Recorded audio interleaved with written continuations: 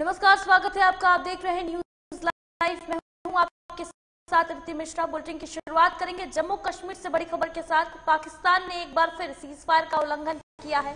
Nowshera sector के राजौरी इलाके में सीज फायर उल्लंघन किया है पाकिस्तान ने। पाकिस्तान की फायरिंग में एक जवान शहीद हो गया है। भारतीय सेना भी लगातार मुँह तोड़ जवाब दे रही है। तो पाकिस्तान लगातार अपनी नापाक हरकतों से बाज नहीं आ रहा है और एक बार फिर से नौशेरा सेक्टर में पाकिस्तान ने का उल्लंघन किया है, जिसमें एक भारतीय जवान शहीद हो गया। भारतीय सेना भी पाकिस्तान को मुँह तोड़ जवाब दे रही है।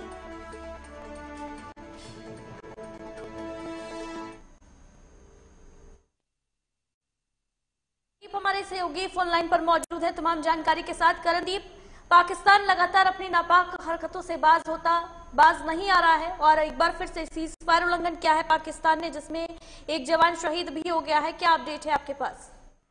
जी, बिल्कुल अगर बात करूँ पाकिस्तान की तो पाकिस्तान जो है, वो हमेशा एक ही मंशा रहती है। पाकिस्तान की सिविलियन एरियाज़ को जो हो टारगेट किया जाए, जो रिहायशी इलाके हैं, उनको टारगेट किया जाए। आज भी जो है, वो एक लाम सुम्ब सेक्टर जो है वो नौशेरा जिला राजौरी के अंतर्गत आता है एलओसी पे वहाँ पर जो है वो सीजफायर का उल्लंघन जो है लगातार किया जा रहा है पाकिस्तान द्वारा और मुँह की भी लगातार पाकिस्तान खा रहा है।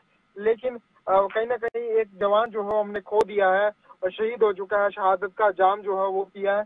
लेकिन इसके साथ साथ अगर बात करें पाकिस्तान की चौकियों को भी जो है वो लगातार तबाह किया जा रहा है, उनको भी भारी नुकसान झेलना पड़ रहा है। लेकिन पाकिस्तान की ना जाने ये क्या सोच रहती है कि सिविलियन एरियाज़ को टारगेट किया जाए और हमेशा हिंदुस्तान की जो अगर फौज की बात करें तो यहाँ पर लगातार सुरक्षा बल जमीनी स्तर पर जो लोग असल में जो इसका शिकार होते हैं टारगेट होते हैं, उनको सुरक्षित स्थानों पर पहुँचाने की एक पहल करते हैं। उसके बाद आकर के पाकिस्तान को मुँह तोड़ जवाब देते हैं और कहीं ना कहीं अब किसानों का फ़सल उगाने का समय आ चुका है। वो भी उगा नहीं पा रहे हैं। पाकिस्तान लगातार जो है गोले दाग रहा है। एलओसी की अगर बात करें, अगर इंटरनेशनल बॉर्डर की बात करें, लगातार सीज फायर उल्लंघन पाकिस्तान द्वारा किया जा रहा है।